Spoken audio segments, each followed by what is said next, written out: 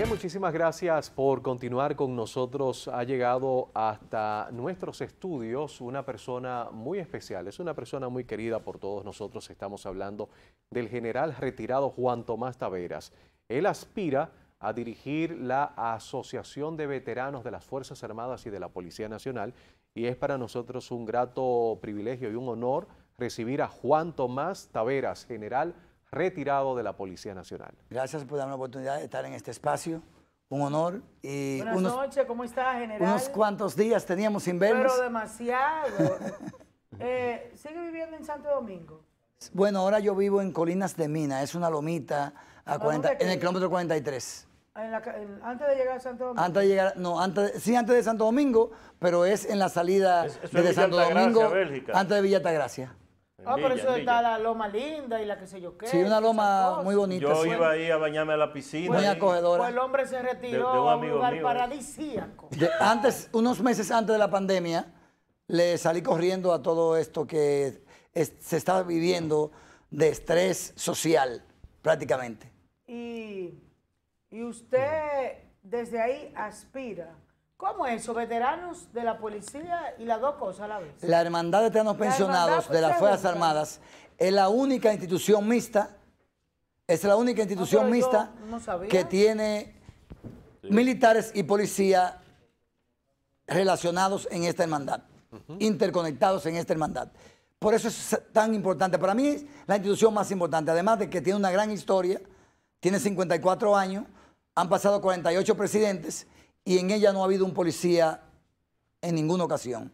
Creo que nosotros ya somos conocidos y eso nos hace merecedores porque ustedes conocen a otra persona que se ha dedicado a defender y a jugársela en defensa del bienestar de los veteranos pensionados de la Fuerza Armada y la Policía Nacional. No hay otro, Eso realmente. mismo le iba a preguntar. Eh, que hasta perdió su rango, su rango no. Mi Eh, posición. su posición por estar defendiéndolo. Y, y lo, y lo defendía con mucho acierto porque tenía, tiene una gran preparación académica. Y de ahí fue que, que vino todo esto. Entonces yo creo que, eh, que de gratitud deberían de apoyarlo. Pero, ¿cómo, están los bonos? en ese- en ese sentido? precisamente por esa razón de que en ese momento Juan Tomás no tuvo nadie que le defendiera, nosotros decidimos defender a los que tuvieron situaciones parecidas a las mías o a la mía, porque fueron muchas, y hoy no, o ayer no tenía quien lo defendiera y yo salí a defenderlo. Y hemos estado en esa lucha para llenar ese vacío, ese espacio de sindicatos de policía que no existe en la República Dominicana. Y estamos llevando un rol con altas y bajas porque no tenemos una empresa, no tenemos un partido, no tenemos una institución que nos respalde, sino que lo hacemos con recursos propios y con colaboración de otros veteranos que creen en esta lucha. O sea que es para defender a los ex militares activos.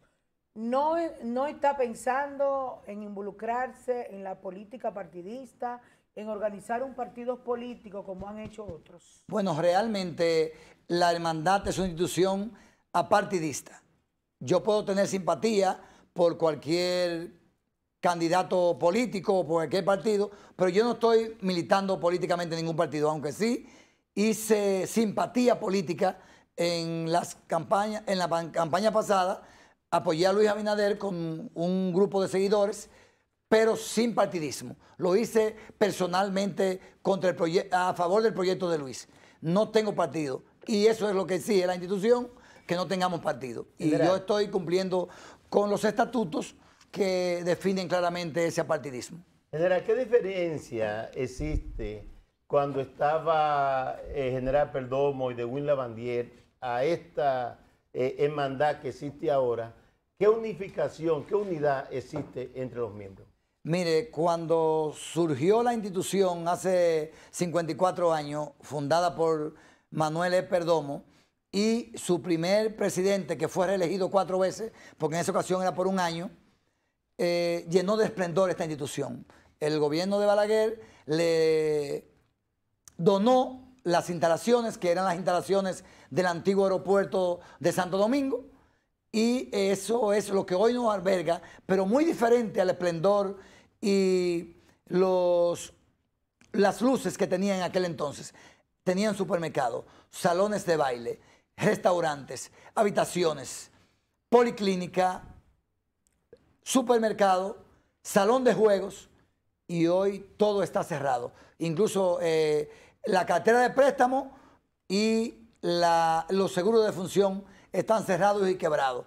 Y yo me pregunto, y se preguntaría cualquiera, ¿para qué quieren continuar y reelegirse las autoridades actuales si en tres años apenas han reparado por campaña, hace tres meses, dos baños, un pasillo que pintaron y una oficina y un jardincito de 10 matitas. Es lo único que han hecho. Y después todo lo demás está cerrado y destruido prácticamente. Eso parece un cementerio de hombres vivos. No tienen propuesta.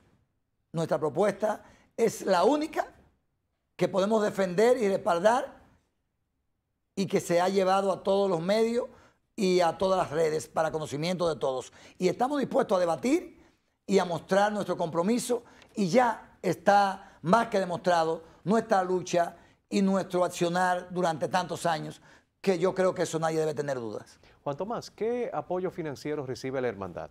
La hermandad es una institución que no es rica porque son beneficios de nuestro eh, aporte mensual para la cuota, que somos más de 20 mil miembros, y eso equivale como a unos 5 o 6 millones de pesos al mes, más que vienen siendo como 100, mil, 100 millones al año, y los otros 100, casi 200 millones que hay al año son de la cartera de préstamos, de beneficios de cartera de préstamos. Son recursos propios todos. Es una, una institución sin fines de lucro, independiente, que no tiene que ver con pol- política. Bueno, con política sí, con partidismo, porque todos somos políticos socialmente. Claro. Mayor General, yo quisiera saber quiénes le acompañan a usted en esta plancha. Bueno, y ahí mismo, los hombres que lo, Sí, que lo aquí hay dos. acompañan son... Sí, Los son nombres parte de la plancha. Ellos pueden venir aquí. Bueno, si yo quiero sí. Pues pasen, vengan. Eso, Vengan, vengan. quieren. Pero no importa, espérate, vengan. eh, por allá vengan, atrás. por allá, Pero vengan. mientras, vengan. mientras se ubica eh, eh, el espacio para ellos, eh, quisiéramos preguntarle ah, ¿qué, qué hace la hermandad en favor de las personas que eh, son representadas por la hermandad. Mira, aquí están los estatutos. Y los estatutos, en su primer orden, tienen la preocupación de velar por la salud de los veteranos pensionados, que son miembros socios, y hasta por otros que no sean miembros socios. También por la protección de sus derechos, para aportar a cualquier necesidad y servicio de la patria en caso que lo requiera el gobierno o la sociedad pero sobre todo para que socialicemos y nos integremos y tener la acogida de sentirnos vinculados a una institución y una organización que nos hermane, que nos integre, que nos asocie y que juntos podamos vivir en mayor armonía y calidad de vida. Pero lamentablemente nada de eso está sucediendo durante algunas décadas. Y por eso la mayoría de los veteranos pensionados se han sumado a nosotros para eh, pedirnos que participemos y vayamos en- al rescate de esta institución que está en el olvido y el abandono. Yo espero la respuesta. Espera. Bueno, aquí tengo- Quisiera saber el nombre, a ver si yo conozco alguno y estoy pegado con alguno de Ok, ellos. el general Nilson votar. Ramos, Claro. ¿eh? el general Nilson Fournier Ramos, el capitán Otto Warner, que es descendiente alemán, Francisco Otto Warner, y está el general de brigada de la Fuerza Aérea paracaidista William Acevedo, el contraalmirante Avellino Rosario, el coronel Ramos Peña, el capitán Mercedes, el, el cabo José Altagracia Díaz, que es fundador de la hermandad y es miembro de nuestra plancha, tiene más de 50 años siendo parte de la institución, estuvo en el Y esplendor. cabo, cabo. Es cabo, sí, Cabo. ¿De, ¿de qué El- institución? ¿La policía? de la Fuerza Aérea, de la Fuerza Aérea es, es él. ¿Qué posibilidades tiene la plancha en estos momentos? De acuerdo a los sondeos que se han hecho algunos estudiantes de sociología de varias universidades que lo hemos contratado y le hemos pedido la colaboración, nosotros tenemos más del 62% de la intención del voto en este momento. Y está en creciendo. en crecimiento porque comenzamos cuando iniciamos con un 47%, ya estamos en el 62% después que dimos a conocer nuestra propuesta, que es la única, los demás no tienen propuesta. ¿Cuándo, es- ¿cuándo el son las abandono. elecciones, general? La- El ¿cuándo? 30 ¿Y a qué de- hora? El, el sábado 30 de octubre de este mes. Faltan 16 días con el chin que queda de la noche. General, ¿cómo impacta la Él le apuesta? preguntó a qué hora. Eh, de- ¿Y, y de- dónde de va la- 8 a y 5 dónde- de la dónde- tarde. ¿Y dónde se vota? Las votaciones serán en 14 puntos. De 6 puntos, 7 puntos en Santo Domingo y los otros 6 puntos en el interior del país. Voy a comenzar con el, el norte. Eh, Mao en la Fortaleza. Santiago en la Fortaleza San Luis. San Francisco de Macorís en el Club de los Mayoristas. En Santo Domingo, en bueno, vamos a seguir por San Pedro, en la Escuela Vocacional. En San Isidro, en el Club de Alistado. En la- el Club de los Trinitarios, que está en la Charla de Gol. Y en el Club de Alistado de la Armada de la República Dominicana.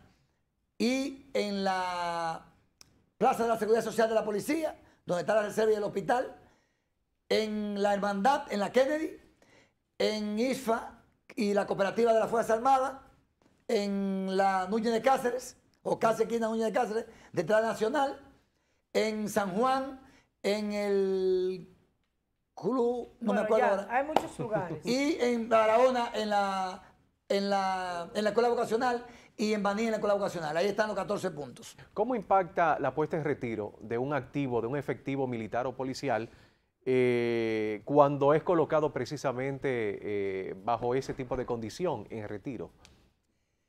La carrera de un militar, de un policía, comienza desde el mismo momento que uno se inscribe como aspirante y termina cuando uno muere. Pero aquí en la República Dominicana nos matan cuando nos retiran o nos excluyen de la institución, casi siempre de manera bochornosa y denigrante.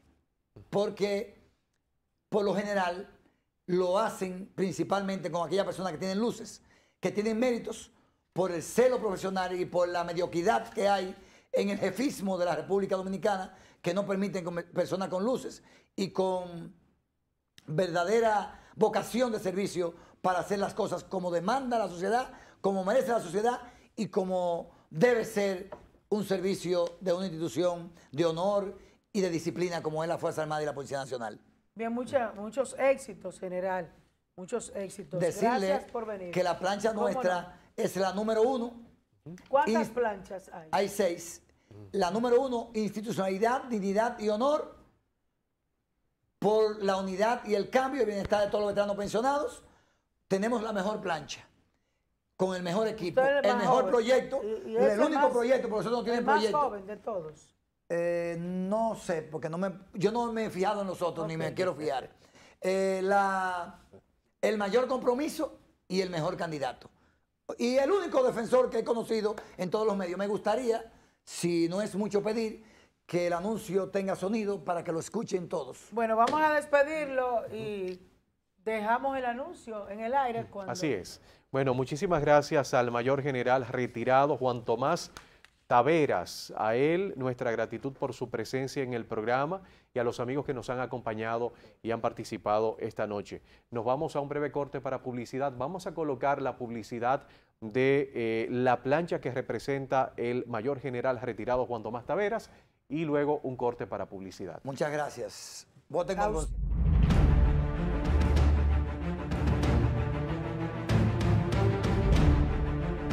Saludos, familia de veteranos pensionados de la República Dominicana. El pensionado es un hombre de honor y de patria que ha dado los mejores años de su vida al servicio de la ciudadanía. Hoy estamos en una encrucijada por el abandono y el olvido en que hemos vivido. Tenemos la oportunidad de cambiar ese derrotero. Te invito a que participes masivamente en las próximas elecciones de la Hermandad de Veteranos Pensionados de las Fuerzas Armadas y la Policía Nacional. Para apoyar nuestra propuesta, no faltes. Te esperamos. Dios, patria y libertad. Que vivan todos los pensionados de la República Dominicana.